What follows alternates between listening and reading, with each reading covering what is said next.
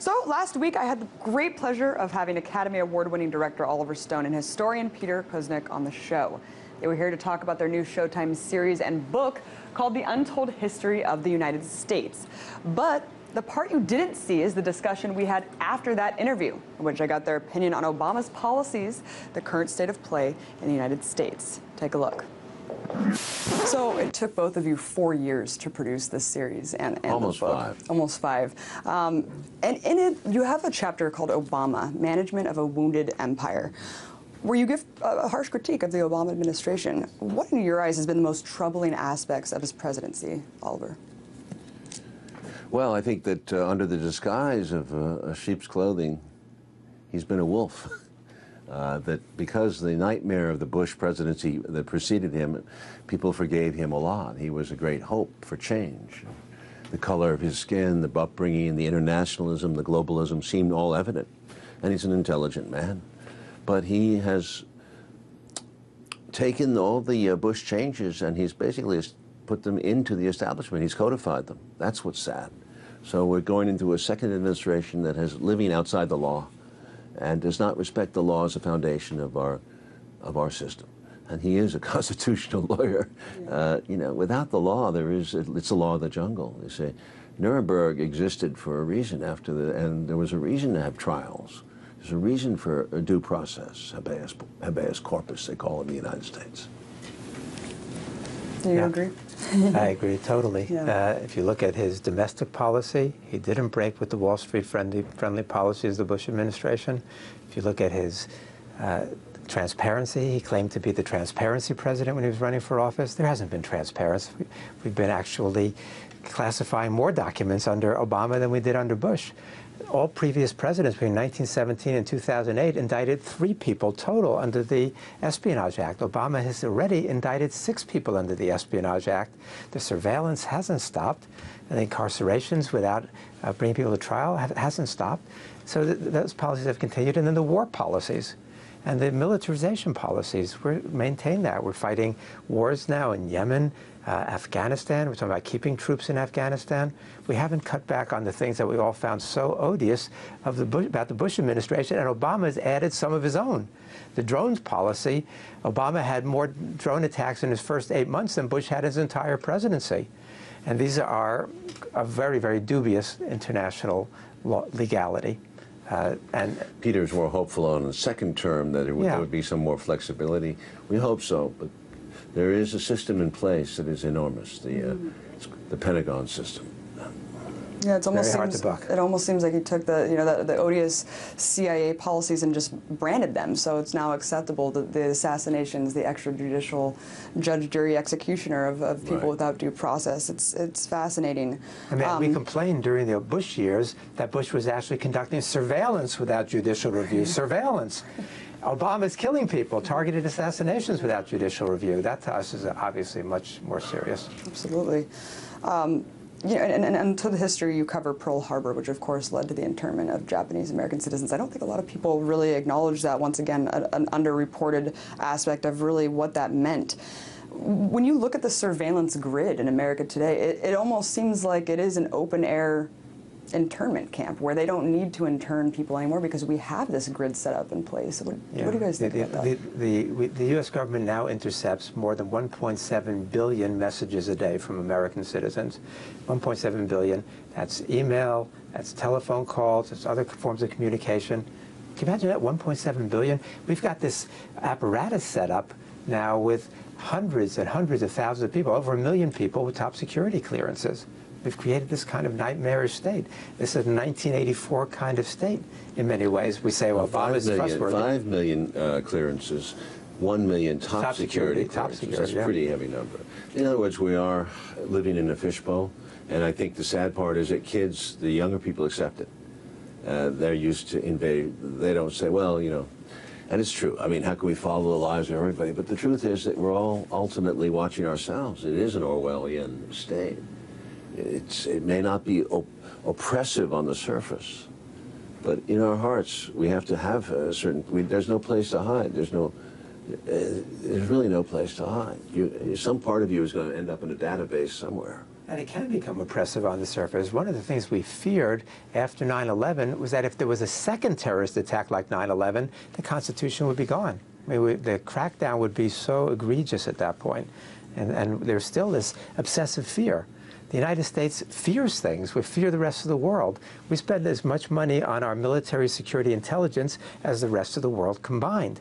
You know, do we have enemies? Are we really so threatened? Do we really need this anymore? Is that what our priorities should be? And we think not. We want to turn that around. Yeah, the evisceration of the rule of law, especially, you know, most notably the, the National Defense Authorization Act, which, which eradicates due process and our basic fundamental freedom in this country. The, um, I wanted to also bring up another interesting point that really struck me in the in the film series, which was the kamikaze pilots who, uh, you know, they were brave. They were considered it was the bravest act that you could do. And then it just I can't help but think of suicide bombers today, and you know Bill Maher. He goes out and loses his show for saying these people are brave. And then you have people like Ron Paul get up there and talk about blowback as a reality, and he's he's ridiculed I mean, how do we get here where the discourse is just so dumbed down where we can't even acknowledge obvious truths such as that? Primitive discourse. Uh, there's been a worship, a blind worship of the military and patriotism, jingoism, it used to be called. Uh, I, you know, I, I strongly believe in a good military and a strong military, but to defend our country, not to invade other countries and to try to conquer the world. And I think there's a huge difference, and it's been forgotten. Morality once you take the law away, as Einstein once said famously, if a country doesn't obey its laws, the laws will be disrespected. So it seems that we, a fundamental morality has been lost on us somewhere along the way recently. And it's, it's who wins, it's what's effective. Can we kill bin Laden without having to bring him to trial? Can we just get it mm-hmm. done? And that get it done mentality justifies the ends. And that's where countries go wrong and people go wrong. All our lives are moral equations. Does the end justify the means? No, it never did. And the other side of what you're asking is about the constraints upon political discourse in this country. Why are people so uninformed? It's what we're trying to deal with in this series. If people don't understand their history, then they don't have any vision of the future and what's possible. If they think that the now, what exists now, this tyranny of now, is all that is possible, then they can't dream about the future. They can't imagine a future that's different from the present. That's why we're saying people have to understand their past, because if you understand the past, if you study the past the way we're presenting it, then you can envision a future that's actually very, very different. And we've come very close on many occasions to going a very different direction in the future. We came very close in 1944, 1945. 1945 to avoiding the atomic bombing and potentially maybe not having the kind of Cold War that we had. We came very close in 1953 upon Stalin's death to ending the Cold War. We came close in 1963 when Kennedy was assassinated to ending the war in Vietnam, ending the Cold War, having a very different direction. The early Carter years, again, was a possibility of a different direction. And at the end of the Cold War in 1989, uh, Gorbachev was reaching out to Bush. Did Bush take that olive branch that Gorbachev was giving him? No. Very much different. What do we do instead? We, we applaud the Soviets for not invading when countries were liberating themselves from the Soviet Union, and then we immediately go and we invade Panama, and then we invade Iraq. And so we're saying that that's great. We, that's great that you show restraint, but we're not going to because we're the hegemon. As, as Madeleine Albright, Secretary of State, under Clinton says if the United States use force, if we use force, it's because we're the United States of America. We're the indispensable nation, she said. We see farther and stand taller than other nations. That's the attitude that Oliver and I are challenging, the sense of American exceptionalism. The United States is the city upon the hill, God's gift to humanity. If we do it, it's right. And that's not acceptable. It's very funny because we go from, you know, we, we've been, the book has been out a few weeks. Uh, the series has been playing for the fifth week now and it'll be 10 weeks and all. We go to TV shows and we sit in these uh, beautiful sets and they're always rushing and rushing in. They got news here, they got news in, in Gaza, they got Petraeus, they got uh, Obama. Okay, well, what are you talking about? Oh, history, you know. Okay, well, history, that's, what does that have to do with today? But okay, what's your point? So you, you, sit there very patiently, and it's very bizarre to me. I don't know about you, but you know, well, honey, uh, the past is prologue. You know, this has all happened before. Right. All you're running around, all you're being busy, your ratings. Uh, this is this is history. This is all it happened before, and if you're smart, you'll see it all perhaps more calmly, and you won't overreact to these situations. It's the United States of amnesia, as Gore Yes. Vidal said. And of Exactly. course, if we don't understand history, we are doomed to repeat it as we are time and You and could time also again. argue that that media is driven uh, by by dollars, the greed. You know, we, we're going back to our Wall Street theme. Is you know, you have a show, and you it's not really a news show because it's really about ratings. It's how many people watch it, and the only way you can get that going is with a lot of speed and a lot of zoom and a lot of fancy sets, and, and people watch, and then keep it moving. Don't think, keep it moving. That's why it's so nice to do a, a show like this where we can actually discuss the issues in a little more depth, a little more critically. But if you both were to make a film about this generation right now, what's one facet that you think is, is the most underreported or misrepresented? I don't know about the younger generation. I have three children. Uh, I think that it's an eternal story to some degree. I think people, no matter what their fashions and their, they do have a similar uh, morality and consciousness, and uh, patterns reemerge again and again. Uh, the young man, the young woman wants to make a way in the world, and they go about it, and, and it's not that far off than what we went through. So I see, I believe in cyclical history, and I believe that my children are going through what I went through and what my father and mother went through too. I think there's, I always look for those patterns first, beyond before the superficiality set in. Mm-hmm. I I find with my students, and I deal with the kids that age all the time, college students and graduate students, and they care really passionately about what's going on in the world. They're all doing lots of volunteer work. What I found in this generation, unlike Oliver and I, my generation, is that they treat the symptoms.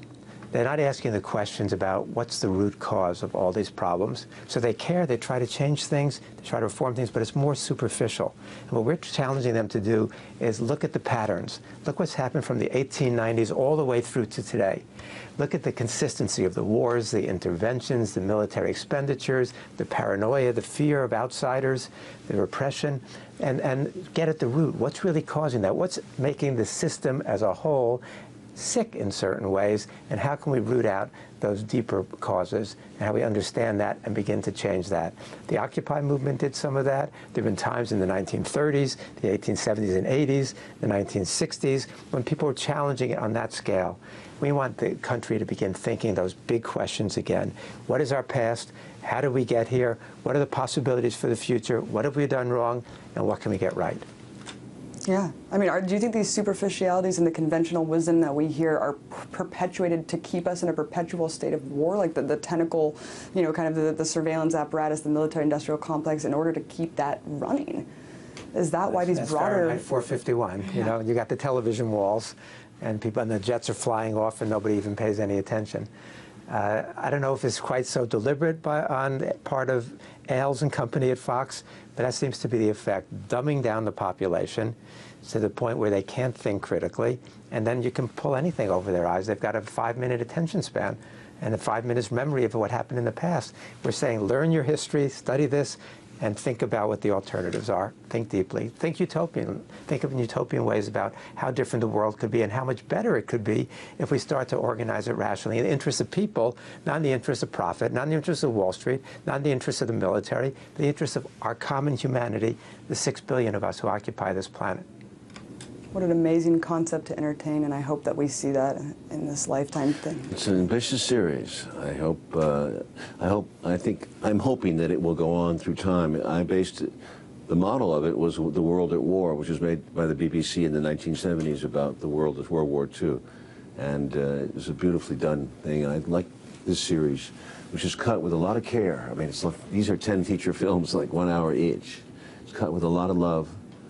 No talking heads, pure narration, music, beautiful music, and sometimes clips of films that make our point or don't make our point Right. another way. But we, ma- we, we try to keep it flowing like a, like a young person could enjoy it like a movie. I'm glad you did. Yeah, beautiful archival footage as well, mixed in with, with the Yeah. cinematic um, accents. It's a really incredible series, and thank you so much for your time, Peter Kuznick And thank and you. Oliver Stone. Abby, you're terrific. Thank you so much.